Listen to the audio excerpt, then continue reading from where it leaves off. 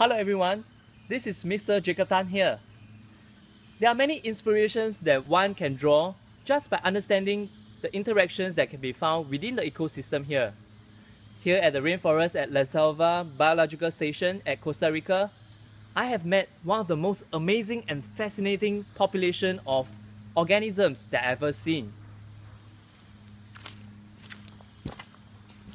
As the sun rises up the sky, the leaf-cutter ants emerge from their underground chambers.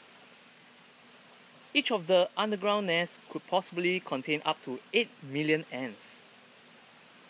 It is going to be another busy day for them. But however, the heavy rain that came last night has created a problem for them. Their delivery trails created by pheromones have been washed away. Now they have to re-establish the superhighways again.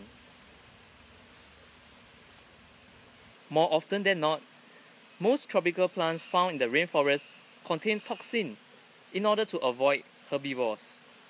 The ants cut the leaves with their sharp toothed mandibles, but they don't eat them. They feed it to another organism. Foragers travel all over long distance carrying these leaves back to their nests.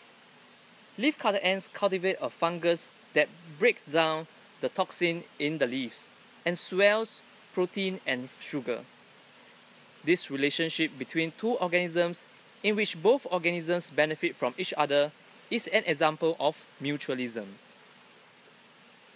The ants can't do without the fungus as they get their food from them.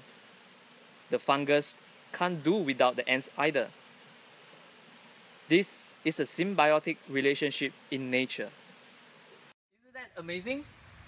Now, can you name me some of the organisms that depend on each other for survival that can be found in our school ecohabitats?